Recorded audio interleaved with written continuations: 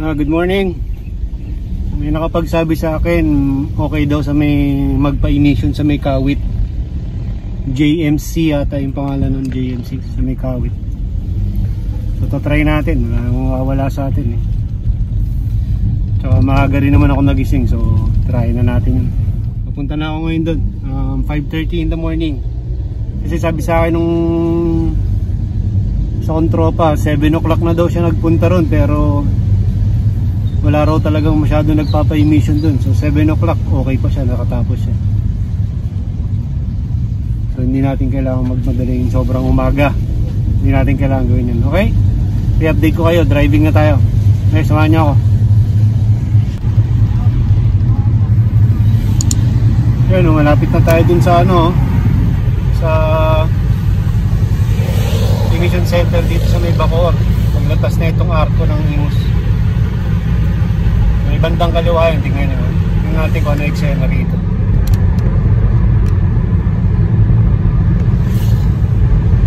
Ayun, parang yung van ng una sa pila. Susunod na kotse. Yan sa may kaliwa. Yan, medyo marami ng taops. Yan, konti pa lang tao. Mukhang nagkalistahan na kayo ng umaga. Eh, yan yung 1.30 pa lang daw, alas 12 may nagpapalista na. Grabe. Reserve, tapos nagbabalikan na lang yung mga nakaslista na pag open na yung emission center. Yan ang sistema dyan. Approaching din tayo dun sa susunod na ano na emission center. May kaliwa rin.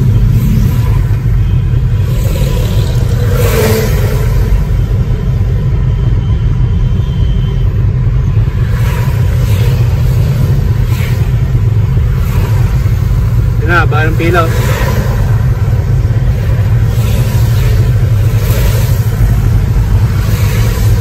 Bahan ng pilaw sa. Yun yung emission center. Dami ng tao. Yun yung pilaw ng sakyan. Okay.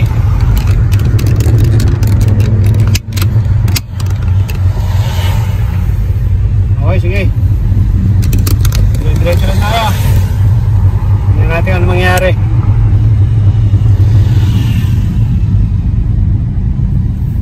Ah, makita niyo sign, LTO to LTO. Nabilet. In 200 meters, turn left. Kaya may makikita kayo dun parang fire station. Magbilang magsasanga yung kalsada, kailangan nyo kumaliwa sa fire station bago. Huwag kayong lalagpas ng fire station, kaliwa na kagad. Bagay, sundan nyo lang si Waze. Hindi naman tayo maliligaw. Tama naman sinasabi ni Waze. Okay? Ito na yata. Turn left. Mission Center ata ito.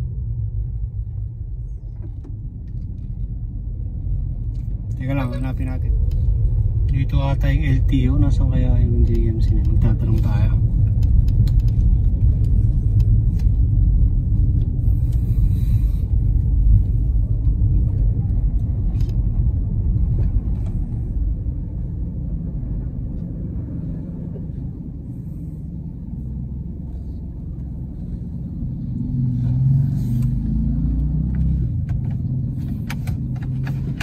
Pwede magtanong? Saan yung JMC emission? Ay, hindi ko alam yun kung saan yung mission. Kaya saan po yung emission center? Emission? Di ba yung labas na to? Doon sa labas? Doon po? Salamat.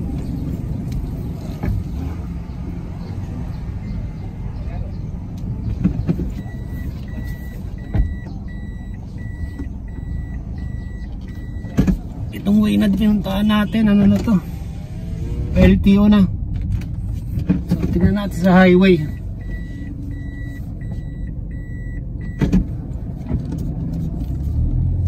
Yan dahil tao.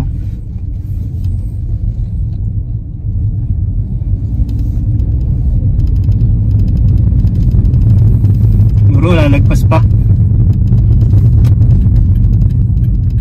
Turn right, and then Turn right.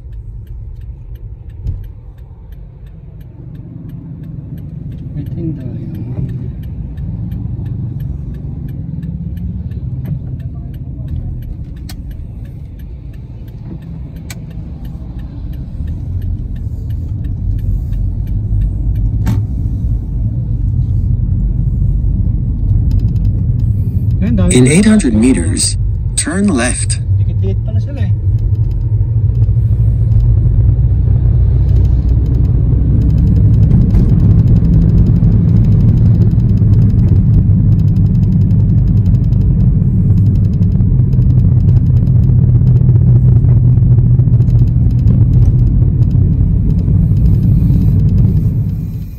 Eto na si JMC nakatago. Nasa likod siya ng Petron.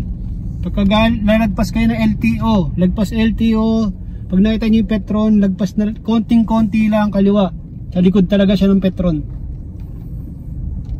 Ngayon, okay, chismis lang tayo kung ano oras na nagbubukas. Yan siya oh, JMC emission testing. Park muna tayo. Nakas kaya ito nagbubukas.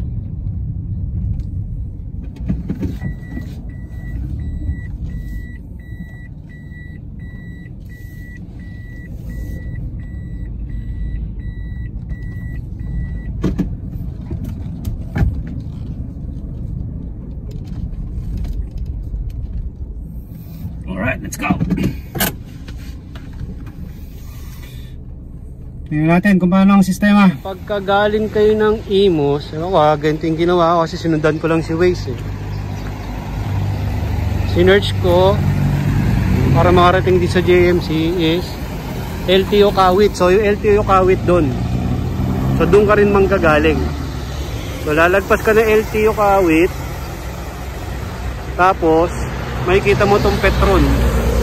Sa likod na likod ng Petron, yung building na yan, yan yung JMC, Emission Center. So sarado pa sila, walang nakalagay doon kung ano oras sila nag-open. Pero pagdating ko dito, it's 6.30 in the morning. Wala masyadong tao. Konti lang. So meron ng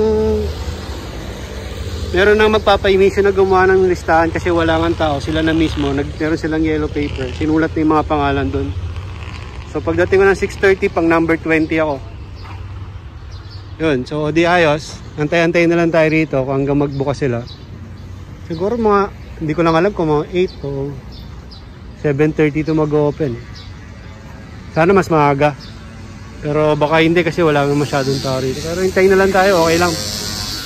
Tingnan natin kung ano mangyari. Okay? Tambay muna tayo sa loob ng auto. Okay pala dito, may golf course oh.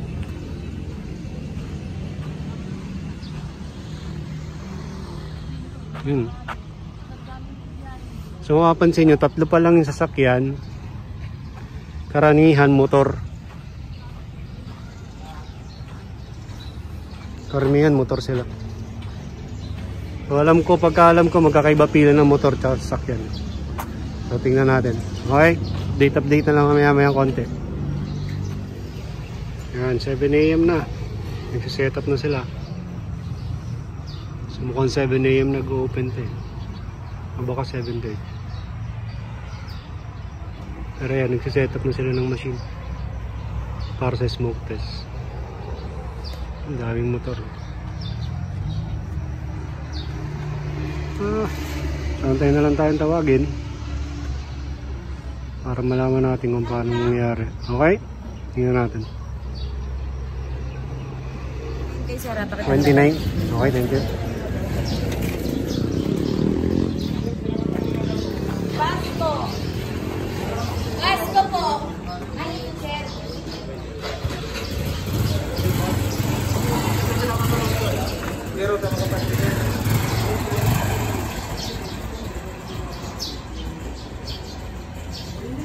Yun, mabot tayo, number 29. Okay ka po. Yung sa yellow paper na ginawa namin kanina. 9 lang daw yung kukunin kasi half day lang sila. Tapos meron din daw mga naka-reserve na kahapon. Parang hindi yata natapos, nasa listahan. So ganun din. May listahan din sila kahapon. Hindi ko alam ba't half day lang sila ngayon. Tapos sarado rin ata sila bukas. So antayin lang natin, tawagin number natin. Click sumabot. Hindi sayang ang biyahe. Yun, So nakausap ko si Kuya, half day lang daw sila kasi mag-ayos daw sila ng, mag-renew daw sila ng lisensya nila. Parang ganun. So So kaya half day na sila yung Friday. So 30 lang ang kukunin nila, 30. Pumasok pa tayo pang number 29. So last na last pa tayo. So hopefully before lunch kasi half day lang. Tapos na rin ako. One day lang ako dito. Pero usually whole day talaga sila. Tapos 50 na sasakyan ng tinetest nila. 50, 5-0. Tinatawag po kanina yan, wala po kayo. Tapos, iba ang pila ng diesel. Pag diesel, wala kang kalaban halos. Iba ang pila ng diesel tsaka gas. Okay? So, antayin na tayo. Dito lang. Antayin natin, tawagin number natin. Okay. Ayan, nakasalang na tayo. At last. Natawag yung number natin. Alas 10 na ng umaga. So, tinetest na siya ngayon. Ilang oras. Bago matawag. Okay lang. 10 o'clock. Saglit na lang to.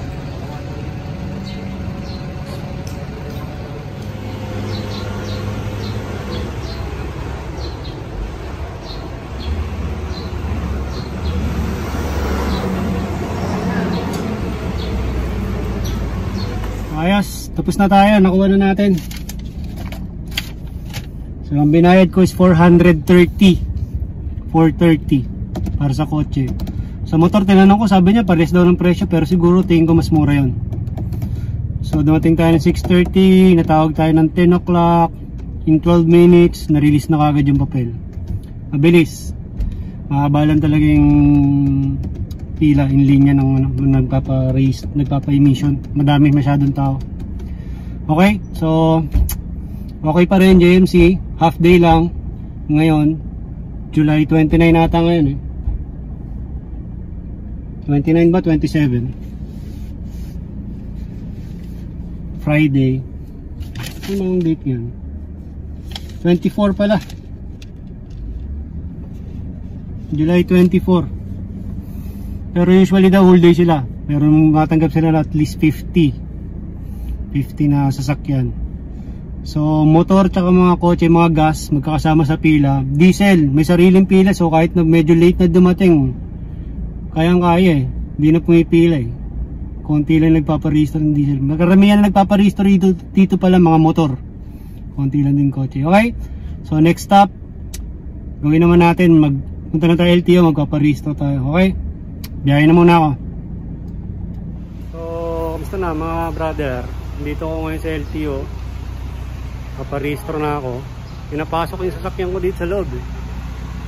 May gate para may stencil. Yan, siya oh. Tirahin niya na oh. Stencilin niya na yung makina. Oo, oh, kaya napatanggalin ko sir. Tinanggal niya ito nung nakaraan eh. Hindi niya rin ako kasi umulan eh.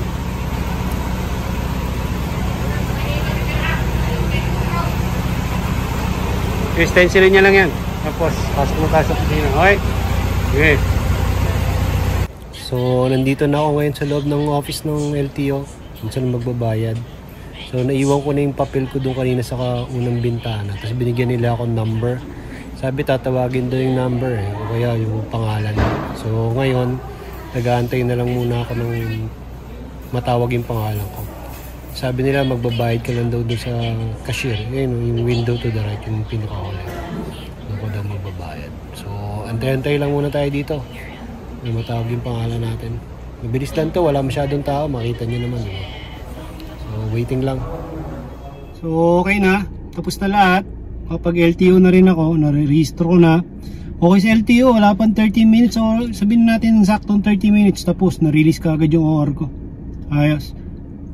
Bayad lang ako ng kulang-kulang 2,000. Mabilis, mabilis. Konti lang kasi tao sa LTO eh. So, maganda yung nangyari. So, ganun na nga. Emission, from 6.30 nandun na ako. Natapos ako ng mga 10.20. Tapos biyaya ako papuntang LTO.